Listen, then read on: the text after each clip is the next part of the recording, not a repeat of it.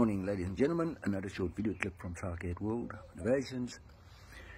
Couple of Cycad Serenus species female cones popping up everywhere.